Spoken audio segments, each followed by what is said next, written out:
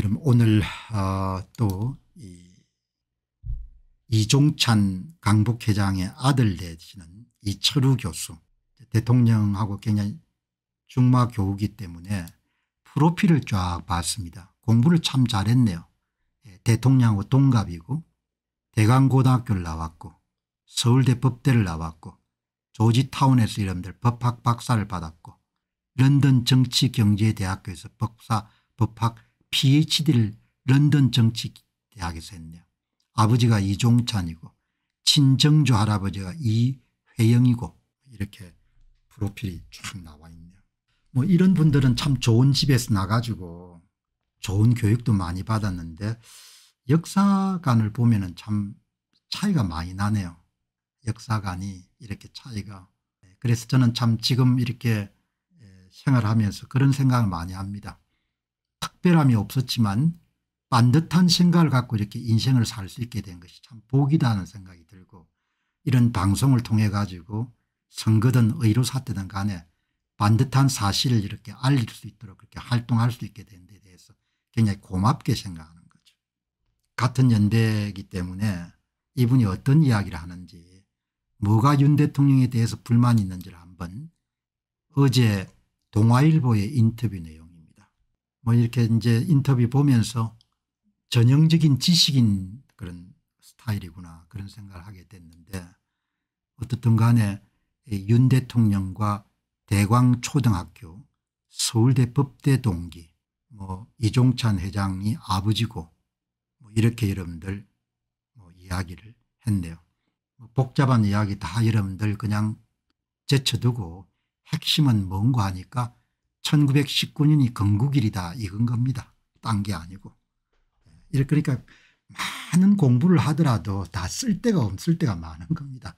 반듯함과 여러분들 그러니까 뭐 사회주의나 공산주의도 여러분 다 지식인들이 만들었지 않습니까 처음에. 1919년대 1948년의 건국 시점 논쟁을 어떻게 보냐 동아일보 기자가 묻습니다. 의미가 없고 바람직하지 않다. 대한민국은 이미 존재하는 나라였기 때문에 건국을 논할 이유가 없다. 대한민국이 존재하는 나라가 아니지 않습니까? 저는 그렇게 생각하거든요. 대한민국이라는 나라를 존재하기 위해서 노력하는 과정에서 아주 중요한 사건이 상해 임시정부나 한성 임시정부 같은 게 출범한 거지 않습니까? 뜻 있는 선각자들에 의해 가지고. 여기 시각이 있지 않습니까?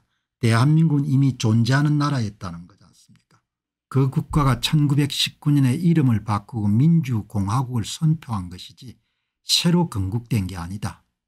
아주 그냥 논쟁이 될 수 있기 때문에 핵심적인 그런 논점은 피해갔지만 이철유 연세대 법학 전문대학원의 교수 주장은 1948년에 건국한 게 아니다는 거지 않습니까 그게 주장이죠. 홍준표 시장하고 맥을 거의 같이 하는 겁니다. 그 국가가 1919년에 이름을 바꾸고 민주공화국을 선포한 것이지 그 국가는 여러분 거듭 말씀드리지만 상해 임시정부는 국민들에게 주권을 위임받은 것도 아니고 그냥 뜻 있는 선각자들이 미래의 이름 독립된 민주국가를 건설하기 위해서 이름들 상해 임시정부라는 그런 단체를 만들 활동을 시작하지 않습니까 완전 시각이 다른 거죠. 대통령이 강복절 경축사에서 역사적으로 헌법으로 확인된 대한민국 임시정부라는 공식 호칭 대신에 상해 임시정부라고 불렀다. 대한민국이란 말을 왜 안 썼는지 의아하다. 대한민국 임시정부라고 이렇게 쓸 수도 있고 뭐 상해 임시정부라고 쓸 수 있고 그렇게 쓰는 거죠. 대한제국과 1919년 대한민국 1948년 대한민국의 동일성과 계속성에 대한 확신이다. 이거를 대한민국의 주권적 장이 정의라고 말하고 싶다. 이것을 부정하고 대한민국을 1948년에 처음으로 태어난 나라로 보면 한반도 전체에 대한 대한민국의 관할권이나 독도 영유권 주장의 근거도 약화가 된다. 이렇게 이런 문제가 있기 때문에 1919년으로 삼아야 된다 그런 이야기인 거죠. 그러나 1919년에 대한민국이 건국된 건 아닌 건 아니지 않습니까 그러니까 앞에서 홍준표 시장도 예, 이런 이런 문제점이 발생할 수 있기 때문에 1919년 19년을 건국일로 잡자.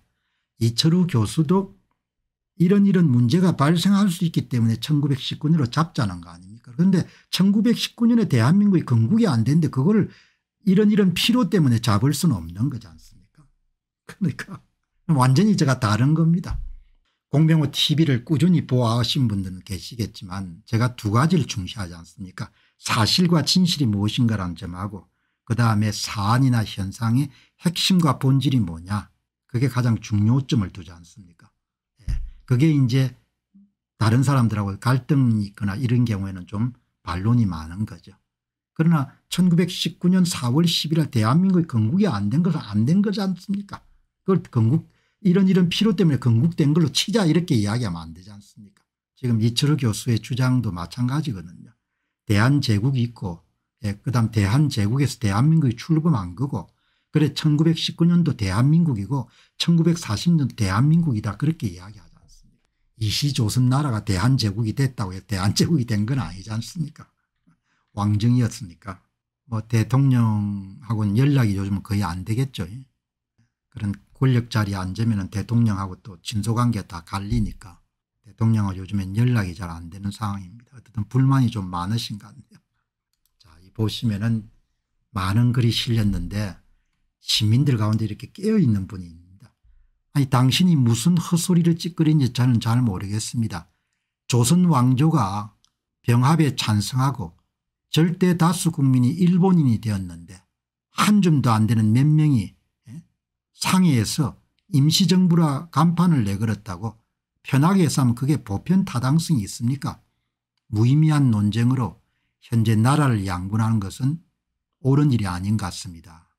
930명이 찬성하고 115명이 앞에서 지적한 것처럼 깨어있는 소수의 선각자들이 훗날에 독립된 여러분들 자유민주주의 국가를 건설하기 위해 가지고 예, 나섰던 것이 상해 임시정부지 않습니까 그때 대한민국이 있었던 건 아니지 않습니까 이게 임시정부 인정한 나라는 하나도 없습니다. 심지어 장개석도 지원을 해 줬어야 인정을 안 했습니다. 실제 통치도 못하고 국제사회에서 아무도 인정 안 하고 국민이 투표로 뽑은 정부는 아닌데 무슨 정통성이 있습니까? 예, 그렇게 이야기하지 않습니까? 많은 지식을 갖고 공부를 많이 했다고 해가지고 사물을 항상 반듯하게 볼 수 있는 것은 아니니까? 예, 오늘 건국일에 대한 논쟁은 뭐 우리로서는 1919년을 잡고 싶었지만 1919년에 대한민국이 건국됐다는 것은 사실이 아니기 때문에 사실이 아닌 겁니다. 그거를 그냥 사실이 아닌데 사실이라고 그냥 퉁치자 이렇게 할 수는 없는 거죠. 그게 이제 오늘 홍준표 시장하고 이철우 교수가 주장하는 내용의 공통점인 것 같다. 뭐 논쟁이 될 수가 있으니까 다른 의견을 가지신 분은 뭐 다른 의견을 가지시니까 거기에 대해 제가 뭐 반론을 굳이 펴질 수는 없고 제 이야기 오늘 주장을 감시 이렇게 언급해서 말씀을 정리를 했습니다. 오늘 이제 동시 시청하시는 분들이 좋아요를 한번 함께 누르시고 그 다음 방송을 계속해서 들어주시면 좋겠습니다. 안녕하십니까 공병호입니다. 그동안 공병호 tv는 선거 공정성 회복과 자유민주주의 체제의 보존과 발전을 위해 노력해왔습니다. 이런 노력들이 지속될 수 있도록 공병호 tv의 전기 후원 프로그램이자 멤버십 프로그램을 소개해 드립니다. 뜻 있는 분들의 관심과 동참을 부탁드립니다. 선거 공정성 회복을 위한 노력을 지지하시고 훌륭한 나라 만들기에 동참하시는 시청자분들이시라면 구독 버튼 바로 옆에 있는 가입 버튼을 통해서 정기 후원 프로그램에 가입할 수 있습니다. 가입 버튼을 누르시면 공병호TV의 후원자가 되시게 됩니다. 여러분의 후원이 선거 공정성 회복을 위한 노력에 힘을 더할 수 있을 뿐만 아니라 자유민주주의 체제의 수호를 그리고 발전을 통해 여러분과 후손들의 삶에 빛과 소금이 될 것입니다. 특히 그동안 공병호TV는 선거 공정성 회복을 위한 노력 과정에서 채널 성장에 제약이 가해지는 불이익을 감수해왔고 지금도 그런 불이익이 계속되고 있습니다. 그럼에도 불구하고 너무나 중대한 문제이기 때문에 공병호TV의 노력은 계속될 것입니다. 여러분의 깊은 관심을 부탁드립니다. 감사합니다.